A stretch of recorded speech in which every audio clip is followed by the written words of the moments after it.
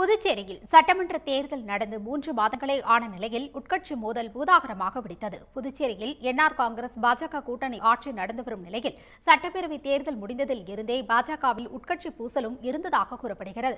மூன்று கோஷ்டியாக பாஜகவினர் செயல்பட்டு வந்த நிலையில் மாநில தலைவர் சாமிநாதனுக்கும் மகளிர் அணி தலைவி ஜெயலட்சுமிக்கும் தற்போது மோதல் வெடித்துள்ளது. மகளிர் அணி தலைவி இல்லாமல் சாமிநாதன் கூட்டம் நடத்தியது மோதலை அதிகரிக்க செய்துள்ளது.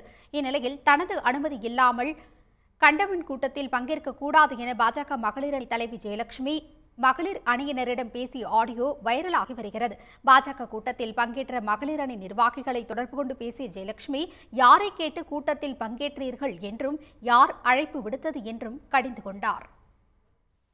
இன்னொரு தடவை மஞ்சு சொல்லுங்க மேடம் மகிழா மீட்டிங் நீ போற அப்படின்னா கரெக்டா என்கிட்ட இன்ஃபார்ம் பண்ணி என்கிட்ட கேளு இருக்குதா இல்லையான்னு சொல்லிட்டு. இந்த மாதிரி. கண்டவங்க மீட்டிங்லாம் நீ போய் அட்டன் பண்ணி நான் பொறுப்புல இருந்து தூக்குற மாதிரி நீ வச்சுக்காத. ஆ சரிங்க அவங்க மேடம் உனக்கு பொறுப்பு போடல. ஆ. அவங்க உனக்கு போஸ்டிங் கொடுக்கல. நான் தான். உனக்கு போஸ்டிங் கொடுத்துக்கிறேன். புரியுதா. உனக்கு? சரிங்க மேடம் தாமரை செல்வி தான் உனக்கு மாவட்ட தலைவி.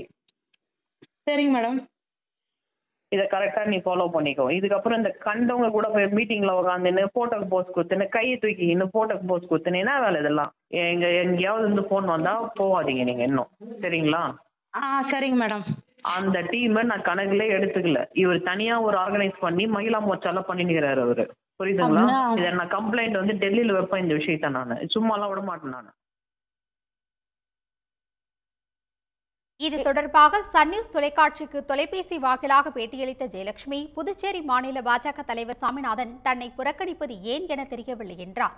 இது தனக்கு மிகுந்த மனவழியை ஏற்படுத்தியுள்ளதாகவும் பலமுறை அழுது விட்டதாகவும் கூறியுள்ளார். பாஜக மேலிடத்தில் தனக்கு நற்பெயர் இருப்பதாகவும் சாமிநாதனால் ஒன்றும் செய்ய முடியாது என்றும் அவர் கூறினார்.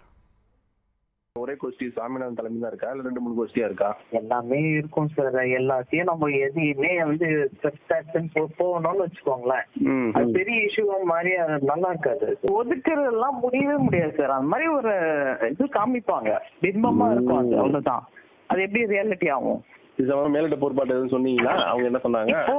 நான் என் ஒர்க் நான் போயிட்டே இருக்குது. என்னோட ரிப்போர்ட் போயிட்டே இருக்குது. நாங்க டெல்லி மீட்டிங் நல்லா போயிட்டே இருக்குது. இங்க சும்மா ஒரு ஜாப் மாதிரி காமிச்சுக்கிறாரு அவர் அவ்வளவுதான். இவங்க சும்மா இவங்க எல்லாம் வெளிப்படுத்திக்காம இருக்காக இந்த மாதிரி ஏதோ ஒண்ணு டீம் ரெடி பண்ணி பண்றாரு. அப்படிதான் ஒருத்தர் நல்லா வளர்றாங்கன்னா ஏதோ ஒண்ணு செய்வாங்க. அது உண்மைதான் எப்படி. அமைதியா பார்ப்பாங்க? உங்க மனநிலை எப்படி இருக்கு? இந்த மாதிரி பண்றாங்க போறாங்களா உங்க மனநிலை எப்படி மேடம் இருக்கு? பெரிய மன கஷ்டமா இருக்கு சார் எனக்கு.